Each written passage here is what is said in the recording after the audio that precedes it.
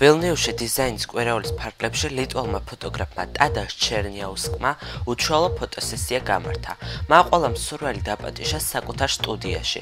მოდელებს სახეში ჰაერის ძლიერ ნაკადს უშვერდნენ, რომლის შედეგადაც სახის ნაწილები დეფორმაციას განიცდიდნენ. საბოლოო ჯამში გამოდიოდა სახის წარმოუდგენელი გამომეტყველებები, რომელსაც ფოტოგრაფი კამერით აფიქსირებდა.